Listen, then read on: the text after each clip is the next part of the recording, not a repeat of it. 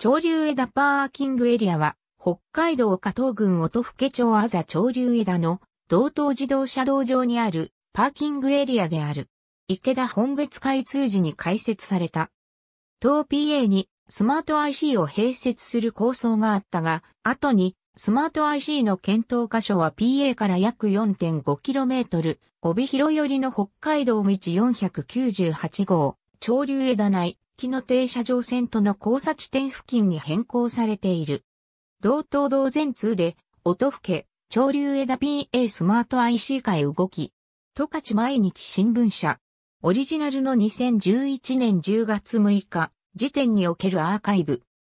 https コロンスラッシュスラッシュウェブドットアーカイブドット org スラッシュウェブスラッシュ20111006025053スラッシュ https www.tokachi.co.jp スラッシュニューススラッシュ201110スラッシュ20111002ダッシュ010536と php ハット音更町都市計画審議会議案。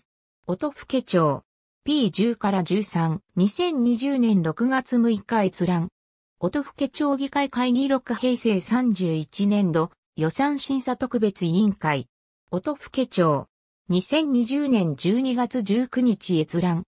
ABC、道東自動車道潮流枝 PA、お猿市のり。東日本高速道路株式会社。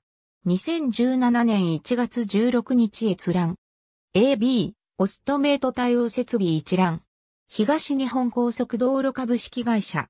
2017年1月18日閲覧。ABC、道東自動車道潮流枝 PA、お猿し下り。東日本高速道路株式会社。2017年1月16日閲覧。